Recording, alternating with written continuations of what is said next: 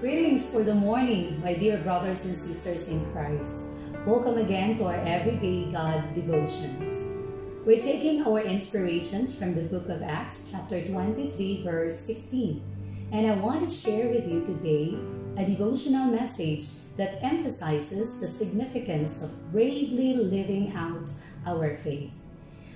In Acts chapter 23, verse 16, it says, But when the son of Paul's sister heard of this plot, he went into the barracks and told Paul.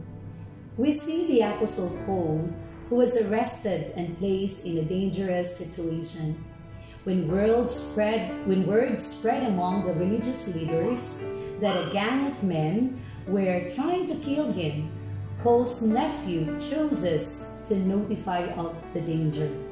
He takes decisive action rushing to the barracks where Paul was imprisoned and notifying him about the plot to kill him. This young man demonstrated extraordinary bravery and compassion for his uncle, demonstrating that even in the face of extreme risk, we must speak up for what is right. As Christians, we have been called to live openly and bravely for our Lord. Just like Paul's nephew, he sacrificed his own safety to protect his uncle. We must be willing to move outside our comfort zones and face the challenges that arise. This is crucial not only in times of physical peril, but also in our daily lives.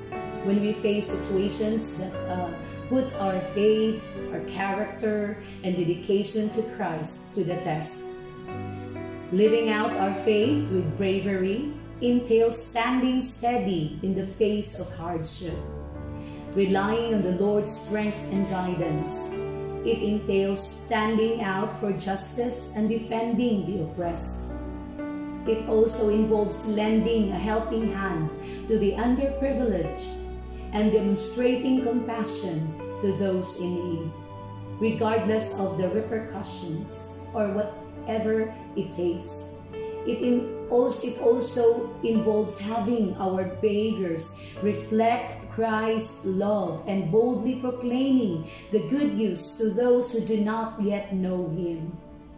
Indeed, dear brothers and sisters, living our faith bravely may result in obstacles. Yes, there is opposition, or even persecution. But when we follow the footsteps of the early disciples and Paul himself, we can rest assured that our Lord is always with us. His promise in Joshua chapter 1 verse 9 echoes down the ages. Have I not commanded you? Be powerful and courageous. Do not be afraid or discouraged for the Lord your God will be with you wherever you go. Let us keep in mind that living our faith alone in the comforts of our homes is not what it is meant to be. Brother, let us boldly and fearlessly venture forth in faith to spread the love and teachings of Jesus Christ throughout our community and beyond. And finally, the verse from Acts chapter 23 verse 16 today serves as a reminder of the significance of boldly expressing our faith. We should be motivated by Paul's nephew who spoke and, and did so without fear in order to defend his uncle. May we all have the same level of courage in our faith, fearlessly facing whatever obstacles or resistance that may arise. As we proceed, let us not forget that we have a magnificent God who is by our side the entire time, supporting and directing us. Thank you, and may you have a blessed day, walking bravely in your faith.